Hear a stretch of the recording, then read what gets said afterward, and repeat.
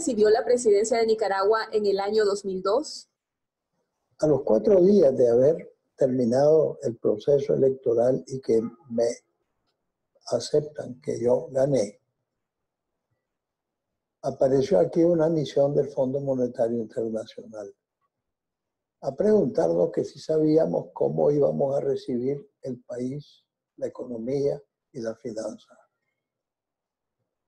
Y la respuesta de unos tres que comenzábamos a organizar gobierno fue que sabemos que el país está mal, pero no tenemos datos especiales que podemos darle.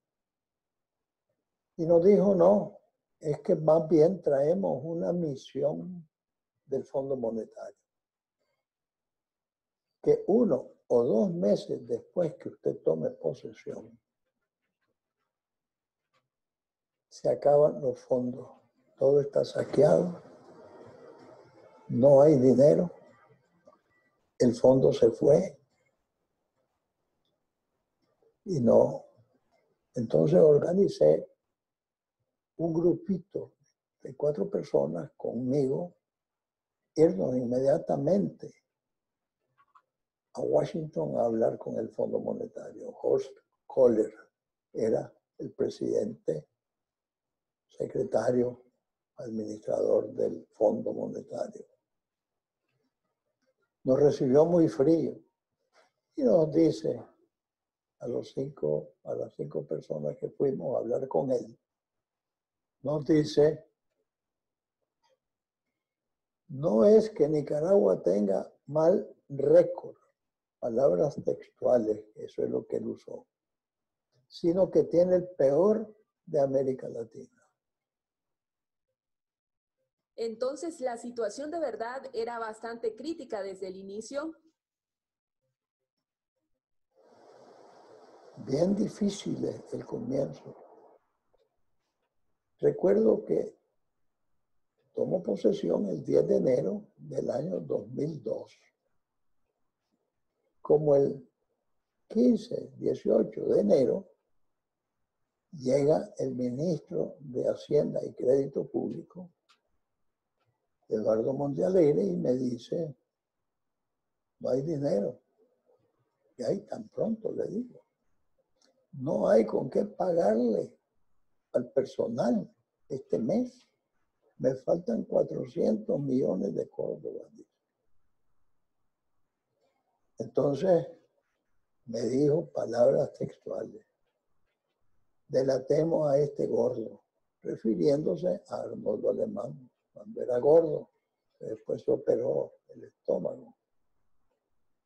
Pero le digo yo, no, eso es lo peor que podemos hacer, porque estamos comenzando y vamos a decir que esto está quebrado.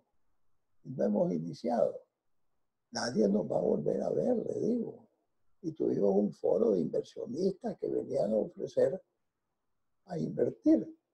Nunca, le digo, silencio, no le digas a nadie. Tenemos que conservarlo entre vos y yo nada más secreto. Y vamos a buscar cómo solucionamos.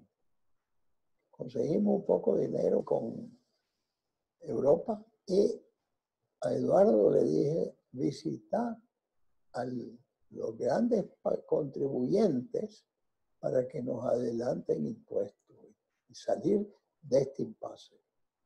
Así salimos. ¿Y fue difícil lograr el respaldo para poder hacer cambios y gobernar al país? Mucha oposición hubo contra mí de 90 personas que son, que componen la Asamblea Nacional. yo solo tenía nueve diputados a favor mío. Los demás los tenían Ortega y Alemán, que habían pactado en el año 99 y en el 2000.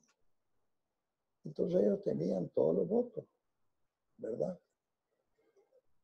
Y como la economía estaba más flotante, más activa, demandaba más energía eléctrica. Y no me permitieron hacer nada en energía eléctrica. Conseguí alquilada de Inglaterra una barcaza que me la mandarían, la parqueás a la orilla de Corinto, el puerto, enchufás al sistema eléctrico y tenés energía. Una planta grande que venía en una barcaza.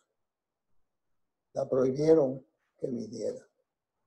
Entonces, no había luz.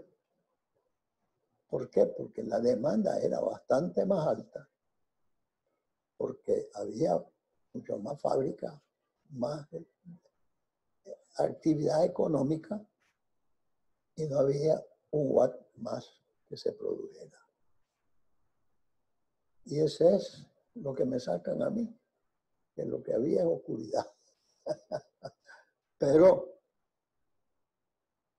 fue una cosa vengativa contra mí, porque causamos a Arnoldo Alemán judicialmente contra la corrupción que existía. ¿Fue Arnoldo Alemán, como muchos dicen, responsable de lo que vivimos hoy? Definitivamente uno de los grandes autores de un gran daño al país. La constitución decía que necesitas por lo menos el 45% de los votos favorables para poder ganar la elección. Si no los tenés, no ganas. Tiene que ser 45 o uno más la ambición también de Arnoldo. Negoció con él. Yo te rebajo al 35%.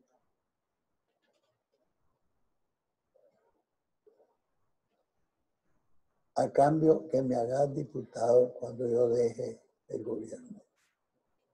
Porque él sí quería ser diputado y quería la presidencia de la Asamblea para seguir mandando desde ahí con Ortega.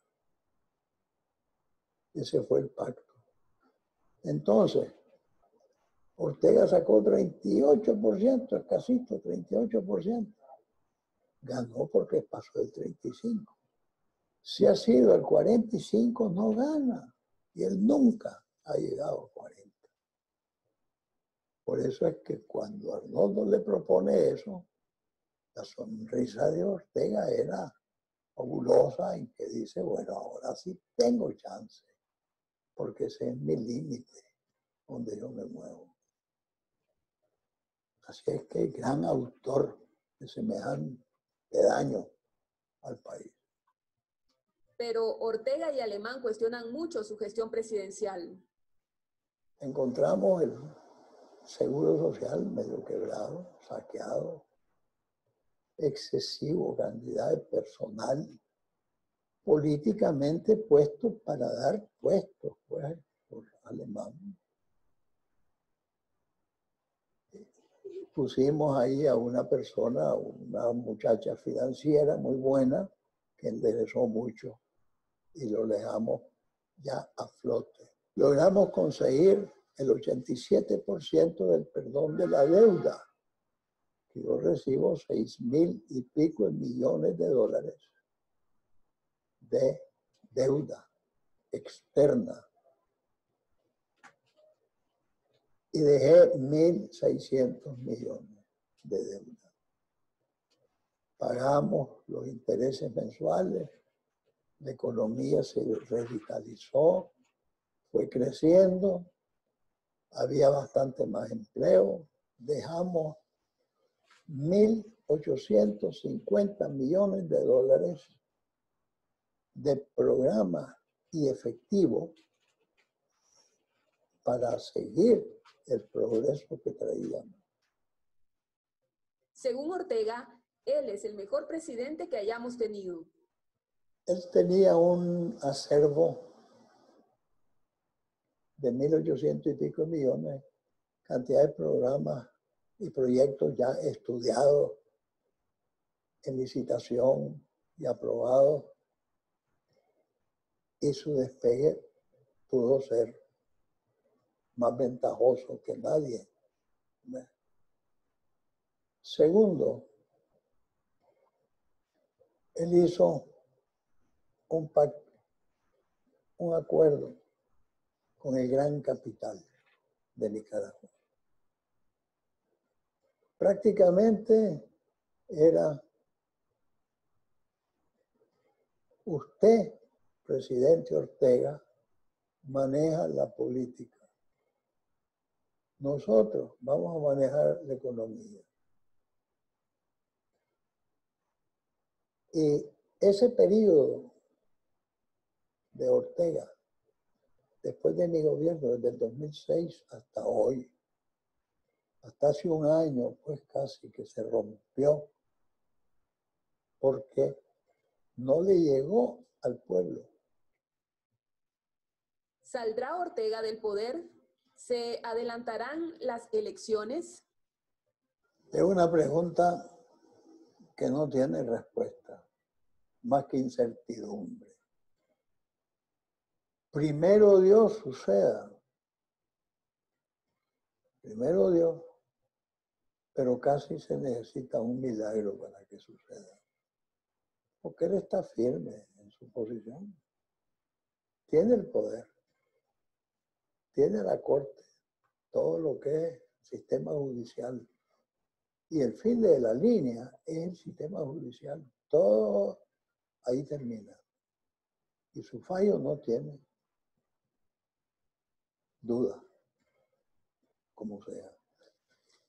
Si cae Nicolás Maduro, entonces sí es más fácil que caiga aquí e inclusive Cuba.